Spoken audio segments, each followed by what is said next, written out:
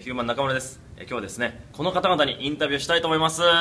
えっとここをちょっとこういう、いやちょっとファミレストランさんでよろしくお願いします。ファミレストランのお二人です。あすいません今打ち合わせい中やちょっと待ってなんでください待ってください。後にしてもらっていいですか？待ってください待ってくださいあのインタビューなんで。いやもう単独ライブが近いから焦ってるんですよ。いや焦って焦ってるんですよ。ものの12分じゃないですか。滋賀漫才ボリューム17が今。そうそうそう。いやどんだけ作ってんの？17がなかなか進まないんですよ。滋賀漫才すごい作ってますよね。17まで行くとねいやいやいやそなのまあ滋賀漫才えー作ってるってことで。滋賀すいます芸人をずっと。そうなんですよ。やられてます3年住んでますから滋賀県はい、滋賀のおすすめなんかあります？その滋賀行ったらこことりあえず行ってくださいみたいな。まああの秋っていうのもあるから、はいはいはい。あの大津港ってとこあるんよ、大津港うん、ミシガンとかそういう周遊船琵琶湖周遊船がこう出てるようなところ、はい。大津港ってとこがあって、はい。で浜大津っていうね京阪の駅が近くにあるんですよ。浜大津。はい。そう。でそこのね向かい側にねあのそれのはい。向かい側のマンションに彼住んでるから。言うなー 言うねそこに当時の場所言うなー。原田さんの家いいですか？嬉しそうやなほんで。言うなお前なんで嬉しそうやな。そこ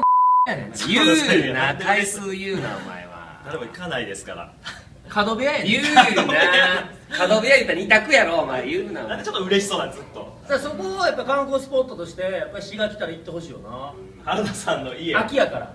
秋だけに、うん。よくわからないですけども。あのマンションやね色言うたらすぐ分かるやんか。すごい情報。言うなってもともとパチンコ屋やったとこね。ラッキーな。うんラッキいーやどんいやどんだけ言うんですか。ということでね原田さんの家ぜひ行ってみてください。